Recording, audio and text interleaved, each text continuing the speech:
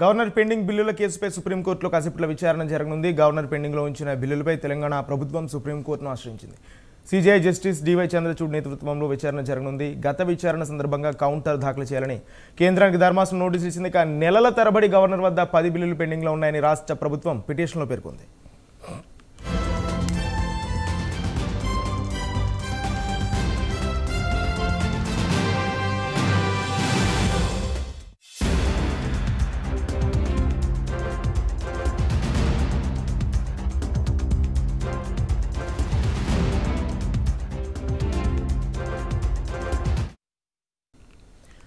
Governor pending బిల్లుల కేసుపై సుప్రీంకోర్టులో కాసేపట్లో విచారణ జరగనుంది.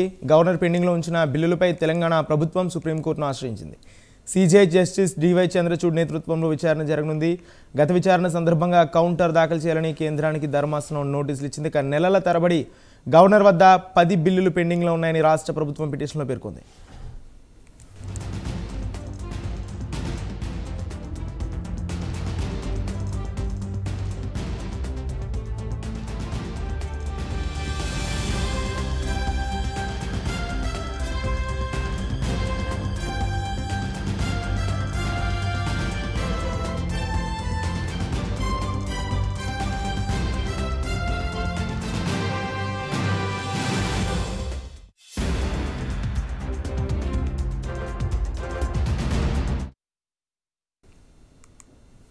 మొత్తంగా గవర్నర్ పెండింగ్ బిల్లుల కేసుపై సుప్రీంకోర్టులో కాసేపట్లో విచారణ జరగనుంది. గవర్నర్ పెండింగ్లో ఉంచిన బిల్లులపై తెలంగాణ ప్రభుత్వం సుప్రీంకోర్టును ఆశ్రయించింది. ఇదే అంశానికి సంబంధించి మరింత సమాచారం మా ప్రతినిధి శివ ఢిల్లీ నుంచి లైవ్ ద్వారా అందిస్తారు.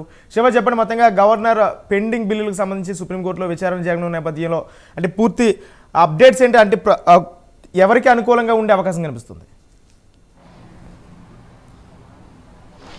రెడీగా గవర్నర్ తన వద్ద ఉన్న బిల్లులను కొన్ని నెలలుగా పెండింగ్లు పెట్టారంటూ తెలంగాణ రాష్ట్ర ప్రభుత్వం సుప్రీంకోర్టును ఆశ్రయించింది. ఈ నేపథ్యంలో ఆ కేసును ఈరోజు విచారిస్తామంటూ కూడా ఈ రోజుకు వాయిదా వేసింది. అంటే ఇరవయో తేదీన దీనిపై విచారణ కొనసాగించింది. విచారణ సందర్భంలో పలు ఆసక్తికర వాదనలు అయితే కొనసాగాయి.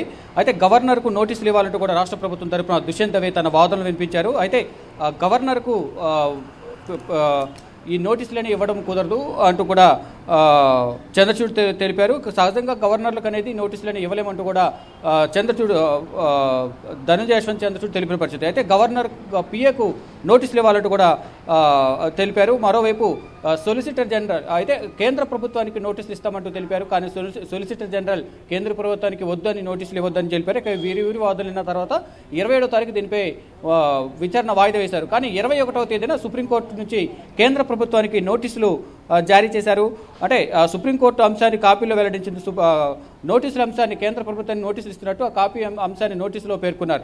అయితే ఈ రోజు విచారణ కొనసాగనుంది. ఇక నెలల తరబడి గవర్నర్ తన వద్ద పది బిల్లులను తన వద్దే ఉంచుకుందని రాష్ట్ర ప్రభుత్వం సుప్రీంకోర్టును ఆశ్రయించిన నేపథ్యంలో ఇరవై తేదీన వాదనలు విన్నారు. దాన్ని ఇరవై ఏడో తేదీకి వాయిదా వేశారు. అయితే ఇరవై ఒకటో తేదీన కేంద్ర ప్రభుత్వానికి నోటీసులు జారీ చేశారు. ఇక ఈరోజు మొదటి వరకు కూడా నన్ను ఈ, లాస్ట్ వరకు ఈ కేసు గవర్నర్కి సంబంధించి కేసు నేను ఈరోజు విచారణ ఉన్నప్పటికీ కూడా నిన్న లిస్ట్ కాని పరిస్థితి. కానీ ఈరోజు సప్లిమెంటరీలో దీనిపై లిస్ట్ అయింది. కానీ ఇది విచారణకు వస్తుందా లేదని కూడా చూడాల్సి ఉంది. సప్లిమెంటరీలో కోర్ట్ నెంబర్ వన్లో ఫిఫ్టీ ఫైవ్లో ఉంది దీని ఫిఫ్టీ ఫైవ్లో. Item number fifty five. End of list అంటే లాస్ట్లో దీనిపై విచారణ ఉండనుంది. కోర్టు కోర్ట్ నెంబర్ వన్లో అంటే ముందు వరకు కూడా లాస్ట్ వరకు కూడా లిస్ట్ కాలేదు.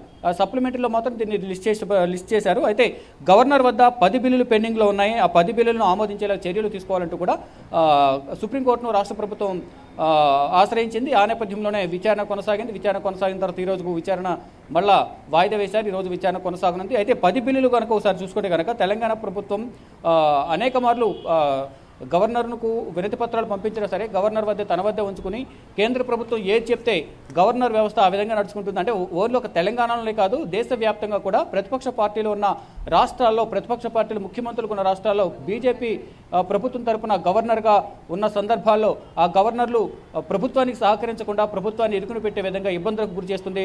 ఆ ప్రభుత్వానికి సంబంధించిన బిల్లులను ఆమోదించకుండా ప్రజలకు మేలు జరగకుండా ఉండేందుకు కేంద్ర ప్రభుత్వం కక్ష సాధింపు ధోరణితో వ్యవహరిస్తుందంటూ కూడా సుప్రీంకోర్టును ఆశ్రయించిన పరిస్థితి. ఆ నేపథ్యంలో దానిపై ఇరవై తేదీన విచారించారు. ఈ రోజుకు విచారణ వాయిదా వేశారు. ఈ రోజు విచారణ కొనసాగనుంది. ఇక గవర్నర్ వద్దన పది పెండింగ్ బిల్లులను ఒకసారి మనం చూద్దాం. తెలంగాణ విశ్వవిద్యాలయాలకు ఉమ్మడి రిక్రూట్మెంట్ బోర్డు బిల్లు ఒకటి పెండింగ్లో ఉంది.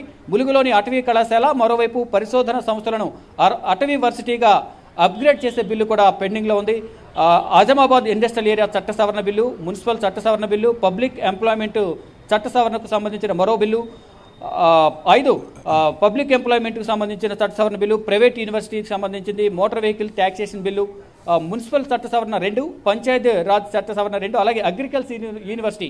ఈ మొత్తం పది బిల్లులు అనేవి పలుమార్లు గవర్నర్కు విన్నవించుకున్నా కూడా గవర్నర్ ఆ పది బిల్లులను పాస్ చేయకుండా తన వద్దే పెండింగ్లో ఉంచారు. ఆ పెండింగ్ బిల్లులను ఏ విధంగా ఆమోదింపజేసేలా చర్యలు తీసుకోవాలి. ఆ, నేపథ్యంలోనే ఇరవై తేదీన విచారణ కొనసాగింది. విచారణ కొనసాగిన నేపథ్యంలో రాష్ట్ర ప్రభుత్వం తరపున దుష్యంత్ దవే వాదనలు వినిపించారు. గవర్నర్కు నోటీసులు ఇవ్వాలని తెలిపిన నేపథ్యంలో గవర్నర్కు నోటీసులు ఇవ్వడం కుదరదని తెలిపారు. మరోవైపు గవర్నర్ పిఏకు నోటీసులు ఇస్తామన్నారు. కానీ కేంద్ర ప్రభుత్వం నోటీసులు ఇస్తామని సుప్రీంకోర్టు తెలిపినప్పటికీ సొలిసిటర్ జనరల్ తుషార్ మెహతా అది దానికి నిరాకరించారు. కానీ ఇరవై ఒకటో తేదీ ఇరవై తొమ్మిదిన వాదనలు విన్నారు. ఇరవై ఒకటో తేదీన సుప్రీంకోర్టుకు నోటీసులు జారీ చేసినట్లు ఆ కాపీలో పొందుపరిచారు. ఇక కేంద్ర ప్రభుత్వం నుంచి ఎటువంటి వాదనలు ఈరోజు జరగనున్నాయి?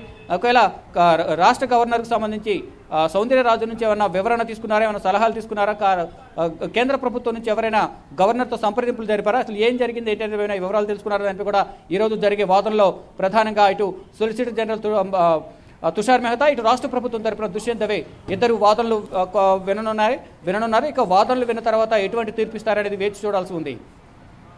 Right thank you Shiva.